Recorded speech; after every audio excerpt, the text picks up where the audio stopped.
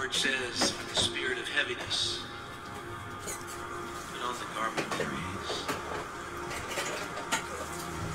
That's how we fight our battles.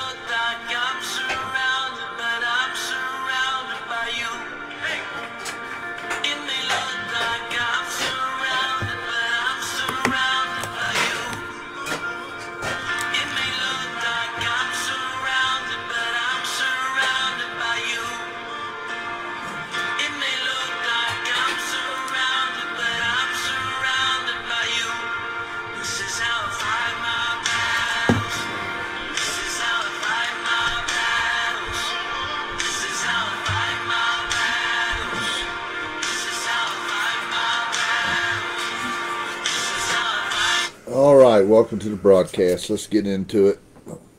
I'm glad I'm off for three days, and I'm tired, amen, from working. So, Father, bless the broadcast Use it on YouTube and social media. Save the sinner nearest to hell as we lift up the only Savior of the world, the Lord Jesus Christ, and bless your people, Jesus. Amen. All right, so cut the choir off. Make sure it don't come back on. All right, hope everyone had a good day today. Get right into Job. That's where we're at. Job chapter 2, verses 12 and 13. And let's look at what the Word of God has to say in these verses. And when they lifted up their eyes, now this is Job's three friends. They've got together. They said, Let's go visit Job. He's going through multiple valleys. All 10 of his kids have been killed in a tornado. Many of his servants and much of his wealth has been destroyed from uh, all different types attacks of enemy people from other countries, areas, fire from heaven, on and on. His own wife, wife has told him to curse God and die.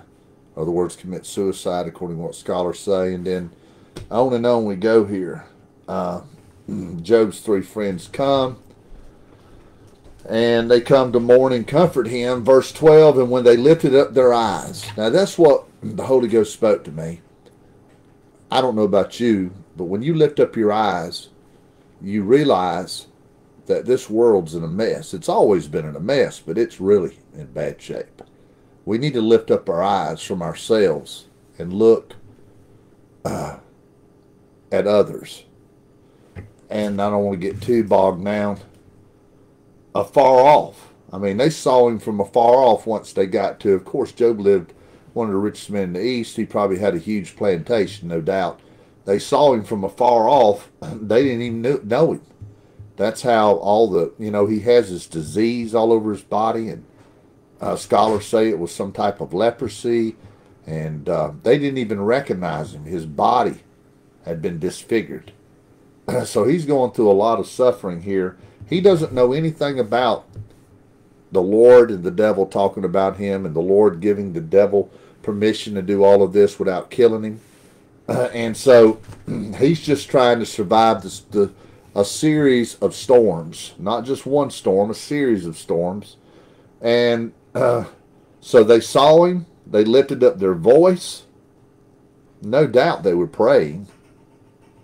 That's, you know, think about it. We need to see people in their storms. We need to pray for people in their storms and wept. We need to weep with people when they weep. Um, I mean, when I pastored all those years, when I went to a funeral, I didn't do a whole lot of talking. Uh, there's no, we don't have the answers. All we can do is pray, pray, be there as a shoulder to lean on, and pray. Amen. And they rent everyone his mantle. So that mantle there is the outward robe, and sprinkle dust upon their heads toward heaven. So this is a a sign of fasting, I would say. Um, and so, look at verse 13. So they sat down with him. That's what we need to do. We need to sit down with the people who are going through a tough time. Don't don't do a whole lot of preaching and all that stuff. Just sit down with them and be silent. Just be there for the people. And I'm speaking to myself also. The Bible says they sat down with him upon the ground seven days and seven nights. Just sat on the ground with him and didn't say a word.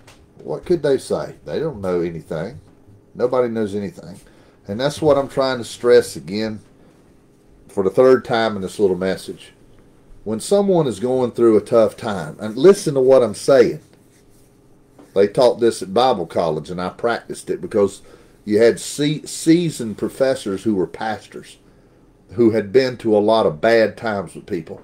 And they taught us when you are ministering and visiting people that are going through all sorts of storms in their life, don't be preaching to them. That is not what people need. Amen. I'm telling you. You don't have the answer. I don't have the answer. The best ministry you can do to anybody that's going through a storm is to sit with them and be with them and don't do no preaching. And I'm trying to help you here. I don't know who's listening. They sat down seven days and seven nights, didn't say one word. And the Bible says, none spoke a word unto him. Why did they not speak? God tells us why. Listen to what the Word of God says. For they saw that his grief was very great. I mean, think about what he's going through here. And there's no explanation because nobody has heard the conversation between the Lord and the devil. And so we need to do that tonight. That's that's the bottom line. I, I saw God gave me three S's here. First of all, we need to lift up our eyes. That's our sight. You know, it's it's easy. I know I live in the same flesh you do to get all embroiled in our own little world. But friend, there are eight billion people on this planet. Eight billion. And all of us are going through storms, whether we're saved or not. And we need to lift up our eyes, and by the way, toward heaven. Did you notice the Word of God? I wrote this down. I want to make sure I got it right. Lifted up their voice toward heaven. That's who we need to be talking to when we go visit people that are struggling. Number two, they sat down with him. Just sit with them. Stay silent because God can God can do more in a few words than we can do in all our little sermons. And number 3, they saw that his grief was great. So that's the message for tonight. All right, brother Mark's sick tonight, so I'm going to have to uh, go ahead and shut it down for tonight. I'll do the uh, tomorrow. I'll be on probably 9 a.m. Eastern Standard Time before I go to church. Tomorrow night I'll be on. I don't know the exact time yet. I'll let you know. Let's say for right now, say 7 o'clock p.m. Eastern Standard Time on Sunday night. Uh, and also, uh, you can email us at cordellclayton at yahoo.com. You can write us at 119 Terry, T E R R Y Avenue, M in South Carolina. Or you can private message us. There'll be a place for you to leave your prayer request tonight. We're already started on our third. I'm excited about this.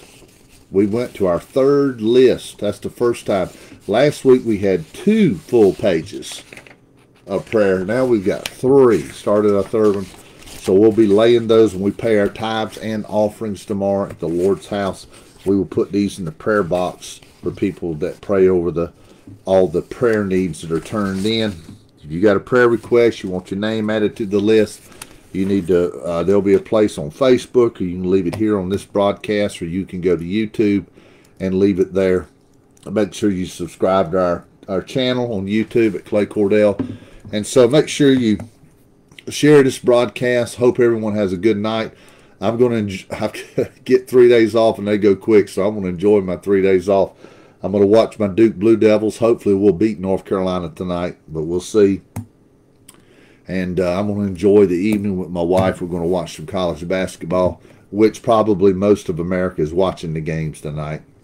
Kansas has already beat Villanova, so Uh, so we'll see y'all tomorrow night. God bless you. God bless America. God bless the Jewish people.